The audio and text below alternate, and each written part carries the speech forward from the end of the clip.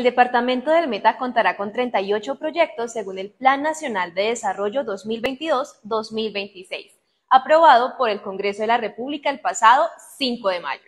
Entre ellas se encuentra la intervención de la vía Pipiral Villavicencio con una inversión de 3 billones de pesos, el acueducto alterno para la ciudad de Villavicencio, el anillo vial de Puerto Gaitán Cristalina, la construcción del malecón del río Meta en Puerto López,